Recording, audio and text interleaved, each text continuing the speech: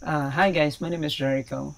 I'm gonna talk about sometimes it uh, the application of uh, DaVinci Resolve is uh, is acting weird about uh, audio because sometimes uh, it don't work. Even though, even though if you have if you have a video like this, but even though if you see this this mark that they have an audio inside, so what you're gonna do is go to reference, go to video and IO, click manual, and then uh, click this uh, built-in output and then the right and click uh, built-in output 2 and then click save and then there you go.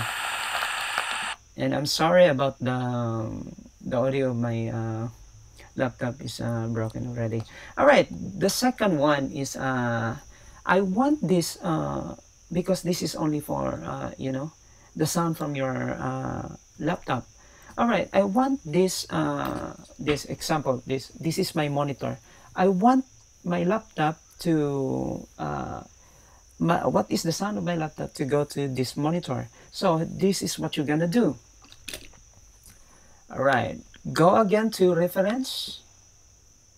Click the use system setting uh, setting uh, settings and then click save and then here we go. Voila! To make uh, all right. You know? they work there. Even though even though if, if you have a bluetooth it should it should work. Bluetooth uh, headset it should work there all right that's all guys. Thank you so much and uh, have a nice day and thank you for watching and uh, if it feels like that my video is helpful for you please subscribe and thumbs up. Thank you so much